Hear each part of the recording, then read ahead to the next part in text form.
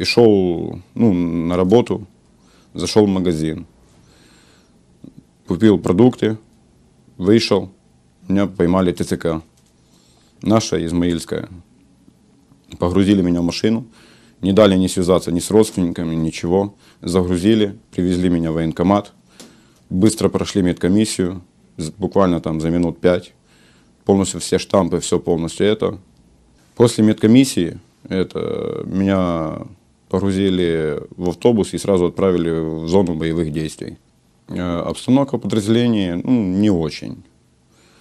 Она и есть как бы негативы, есть и алкоголики, есть и планокуры, есть и, ну, и другие способы ну, принятия, ну, вживания наркотических, алкогольных средств. С наркотиками помогали волонтеры. Об этом знал и офицерский состав, и сержанты. Как бы они все это знали.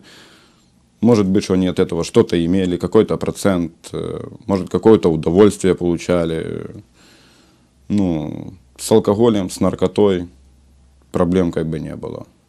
В нашем подразделении отказников много. Ну, все уходят, им как бы за это ничего, просто присылают других людей, и их не ищут, ищут только через время, и за это их не садят, за это их не убивают, за это их никуда не отправляют. Они живут своей жизнью. Был один случай, что человек нанял адвоката, адвокат э, решил его вопрос, ему дали год условно, и он сидит дома, дальше работает, семья рядом, он не воюет, живет хорошо, довольный, и про него просто все забыли. Наши сержанты поступают с отказниками, э, могут избить, могут, э, ну, могут напугать чем-то. В основном отправляют на 2-3 недели на позиции и просто забывают про них без воды, без кормежки.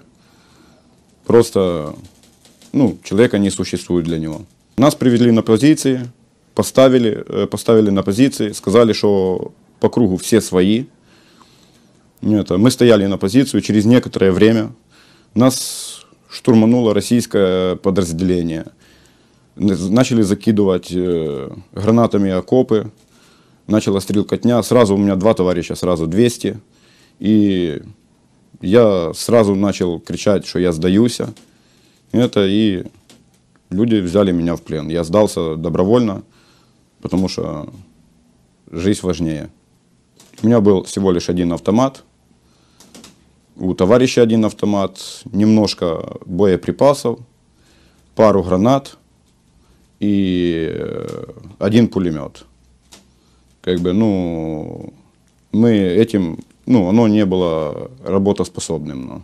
Нам говорили, чтобы мы много себе ничего не брали. Говорили, все будут подносить, будут э, полностью всем обеспечивать. Мы ничего не увидели.